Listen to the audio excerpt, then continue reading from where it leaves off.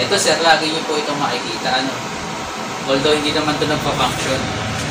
Nakaabang po kasi yan kasi ito yung bypass function natin. Mm. Pwede ko ito tanggalin sir kung ayaw niyo si Meralco tutulong sa inyo once na kulang na yung power ni battery. Kung gusto niyo purely battery carry. Hindi, kailangan tutulong yung mga Ayun sir, kapag ka na-reach na ng inverter natin yung limit, tutulong na si Meralco. Okay, ano, ang nakaset sa 20. Ang lowest kasi dito sir, ah,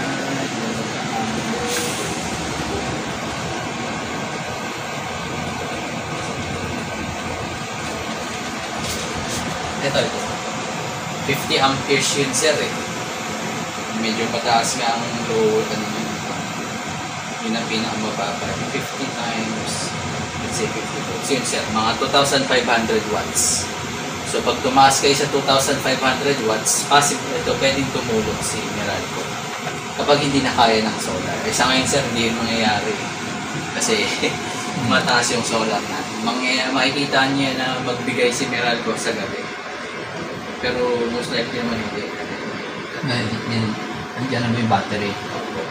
Pag lang sir ang ano, ang nangyayari, magtutulong si Meralco mo sir kapag sobrang taas ng load. For example, madami kayong heating equipment, shower heater, plancha. Hmm. Mataas kasi yun sir eh. Hmm. Tataas kayo sa 2,500. So yung ika, mas mataas sa 2,500, let's say sa 2,600, yung 100 watts doon, kukunin nyo na kay Meralco. Itong 2,500, sa battery pa yung kukunin.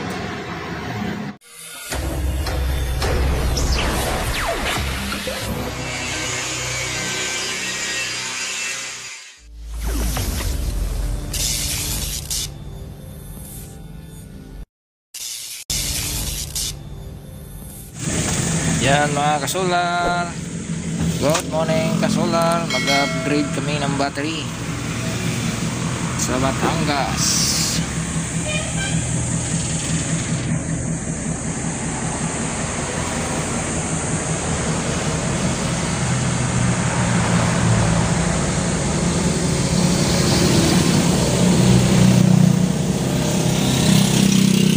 No 100 EH BSL battery.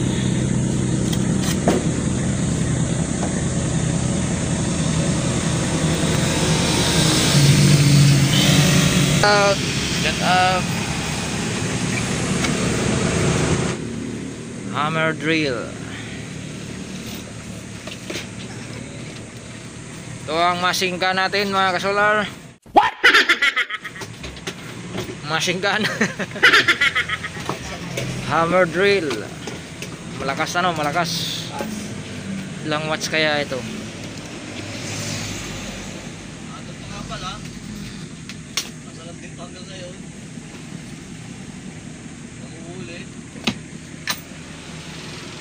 Many hours later.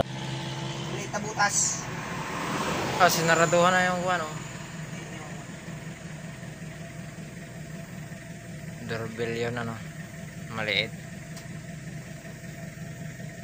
Tinakpan na yung isa ng tape. O dati ay mayroon yun. Wow. Daw pala yung tools na mahaba ano? Chinese.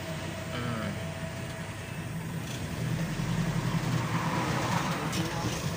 Tonsinwa. Tonsinwa. Washington. clinic ko. Mobile clinic. A few moments later.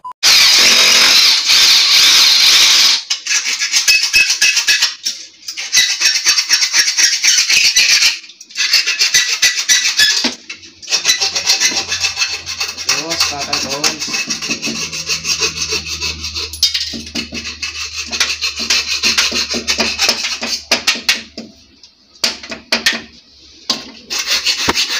Yan, mga katulan, nag-upgrade ulit kami ng battery. Yan lang ulit namin sa inyo.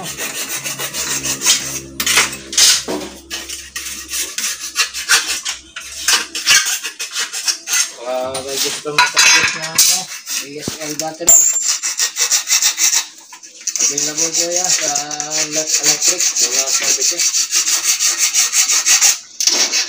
ESL Ay, battery. Anong ba? Ah, para saan ba? Magazine. Ano kaya? Bubulasin ko yun. Galing kay Yaki.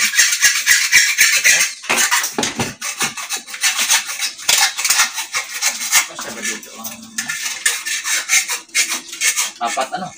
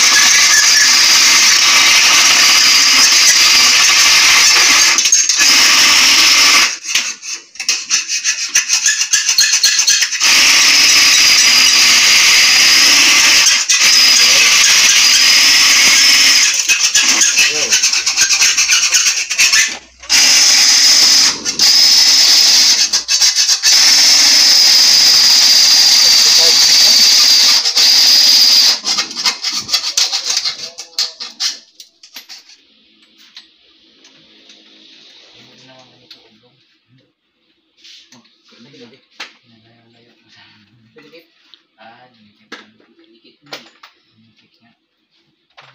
Dari sih. Hindi pa rin hitas ha.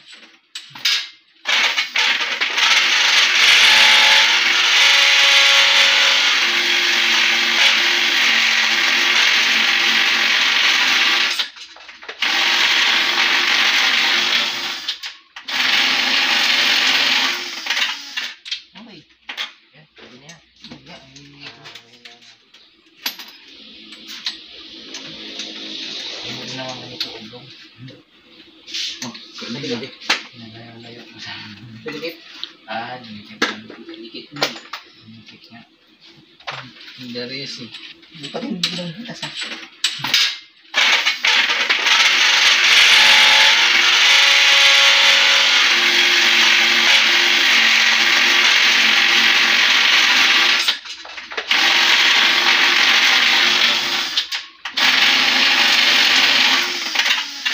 Okay. Ya, pwede na yan. Yeah, ay- Okay na nga. Walang tamang na yan ha. Sinagan ko yun. Baga mo tama. Baga ko matama. Pero, Tanay. Gumit. wala ka ng baga dito. Gumit na ako ng mga likod eh. Isang dangkal na. Diyan, sa karate pa. Yan, wala na. Pwede na yan. Ano na ba yan? Ganyan ano na. Ikaw na lang, ikaw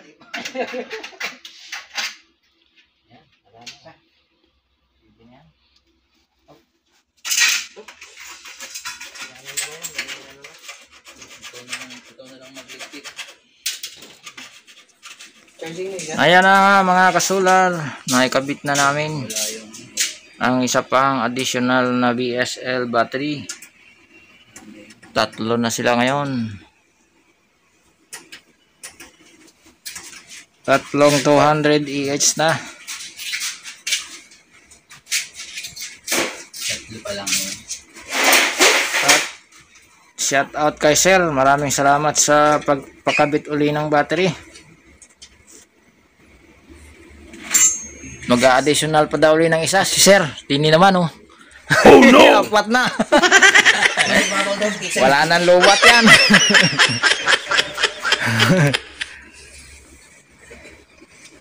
Minsan kasi maabot ng 100%.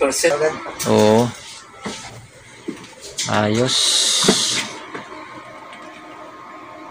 Hanapin natin ito kung kumilit. Titingnan natin yung... Yan, mga kasular, testing na lang mga kasular.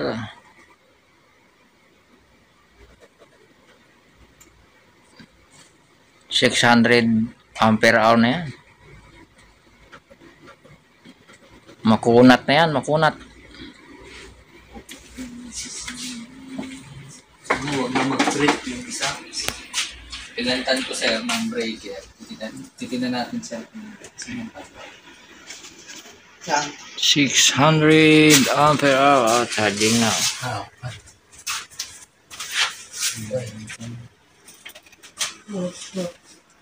Full charge na yata itong isa oh. Full charge na itong isa oh. Ay, dalawa. Wala po.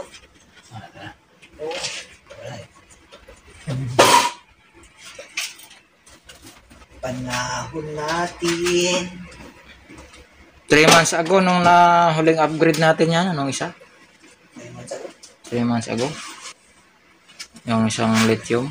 Unang pa-update ni Sir ay one month ako. Tapos Para- three months ay. 3 months ago yata. Wala. Hindi, nag-transfer na. Transfer na sa solar. Ano?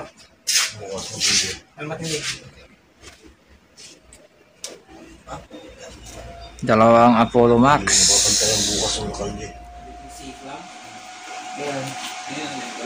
Oo, may mga baril na si Sir yung nakita ko dito sa labas. Nail gun.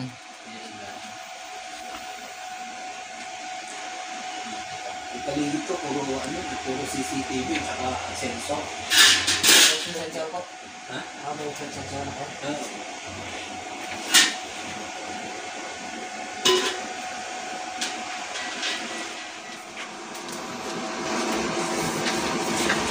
Dapat ito mag-balance. CC.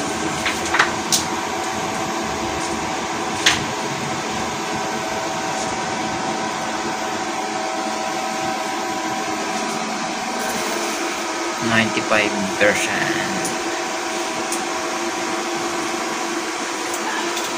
Try niyo, Sir. Parehas mag- 95%. Hindi na. Ha? Babasahin ko na lang muna yung manual. Ito lang, Sir. Long press nyo lang po. Okay. Video ko din, Sir. Para long press. Tapos ito po yung mga settings number. Punta lang po kayo sa 12. 12. So, one press, ito pong enter button. Yan. Kita nyo na big po yung 3 pieces, 3 BSL battery. Gawin nyo na po siyang 1. Tatlong 200 Tapos yung EH. Isang press lang po. yun. Pag nag-pass po, ibig sabihin po okay na. Ito sir, lagi niyo po itong makikita. Ano?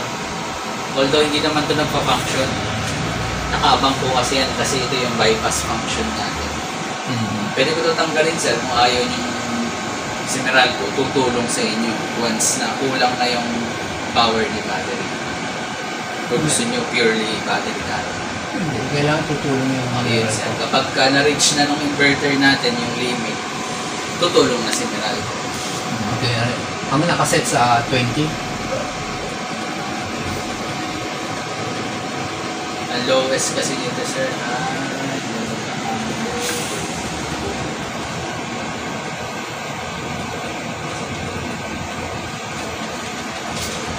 ito, ito. 50 amperes yun sir eh. Medyo mataas nga ang low, ano yun. Yun ang pinakamababa. 50 times, let's say 50 volts. Yun sir, mga 2,500 watts. So pag tumaas kayo sa 2,500 watts, possible ito pwedeng tumulong si Meralco. Kapag hindi na kaya ng solar. Eh sa ngayon sir, hindi yun mangyayari. Kasi mataas yung solar natin. Mangyayari, makikita niya na magbigay si Meralco sa gabi. Pero most likely naman hindi. Ngayon, yan, andyan na may battery. Pag lang sir ang ano, ang nangyayari, magtutulong si Meralco mo sir kapag sobrang taas ng load. For example, madami kayong heating equipment, yung shower heater, plancha. Hmm. Mataas kasi yun sir eh. Hmm. Tataas kayo sa 2,500. So yung ika, mas mataas sa 2,500, let's say sa 2,600, yung 100 watts doon, kukunin nyo na kay Meralco. Itong 2,500, sa battery pa din po yung kukunin. So ito yung limit ng battery niya sir, 50 amperes, para hindi siya masyadong low.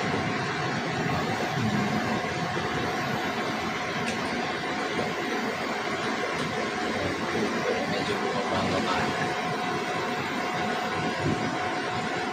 Yung isa charge.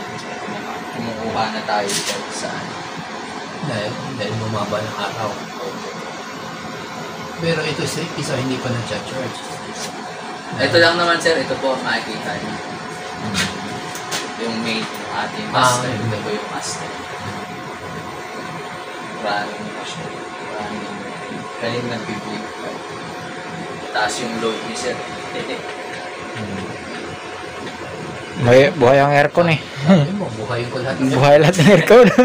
Tinry ko lang sir kasi Para matesting. tingnan natin kung Para matesting. Kasi minaximize natin kung ano yung Pwede na sir patay. Kayang-kaya, no, lahat. Na po kasi yung isang buhay na lahat ng aircon. Ano, kayang-kaya. Laki pa ang pressure. Ano. May pressure.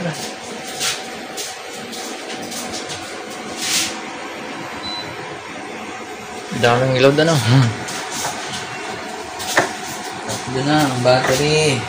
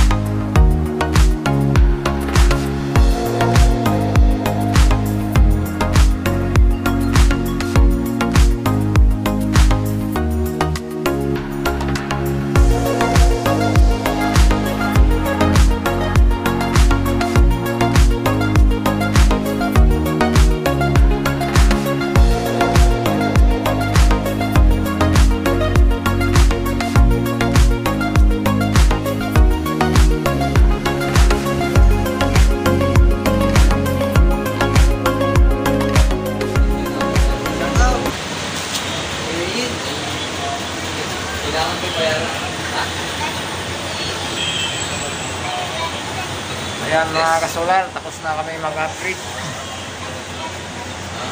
Sa Batangas. Bawi na kami. Hanggang sa muli. Thank you.